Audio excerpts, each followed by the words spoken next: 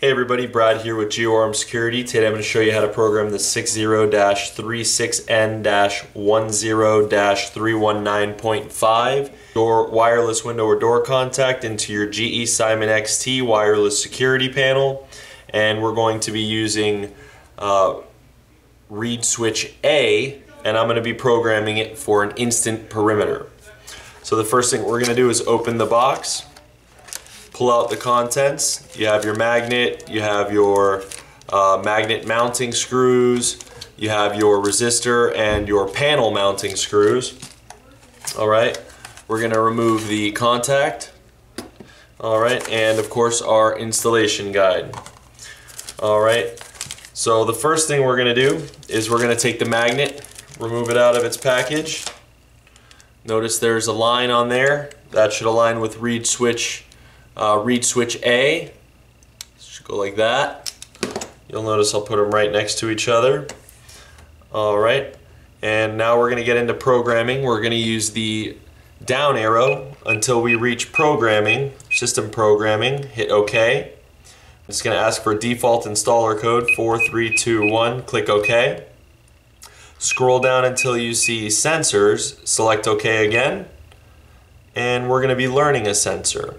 All right, so go ahead and select Learn Sensor. Now it's going to ask us to trip the sensor. So we're going to take a, a small flathead screwdriver. We're going to locate the area with the little groove protruding. We're going to take our flathead screwdriver. We're going to insert it into this groove and with our thumb we'll go ahead and pop the system open. You'll see it's acknowledged it and learned it in. Open it up. Now what I want to show you is as we've seen in previous videos, you want to refer to figure 3. So if you look now, based on the jumper and where the, where the jumper is supposed to be, right now it looks like it's set up as the default for reed switch B. We're going to go ahead and program reed switch A, which means you want to have the left prong exposed.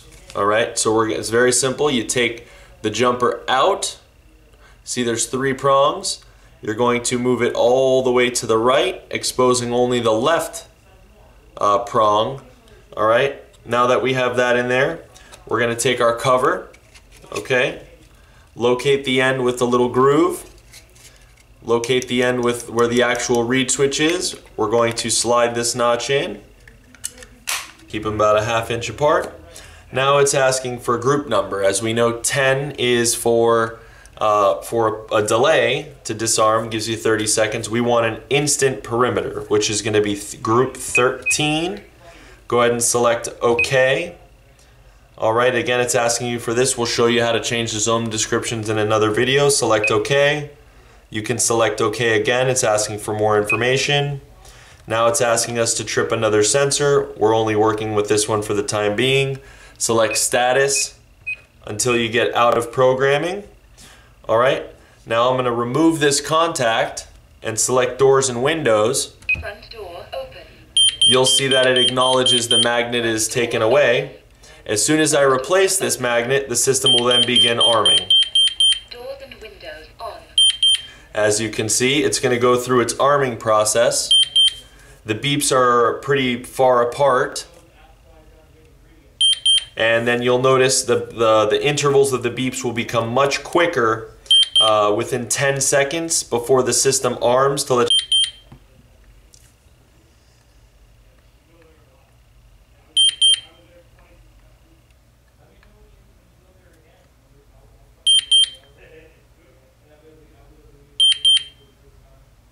Okay, as you can see, the intervals have picked up. That means there's 10 seconds before the system is fully armed. And then the beeps will stop letting you know the system is armed. All right, the system is armed. Uh, we did set it as an instant perimeter, so I'm going to remove it to show you that it does work. Uh, it is a little loud. I will disarm the system very quickly.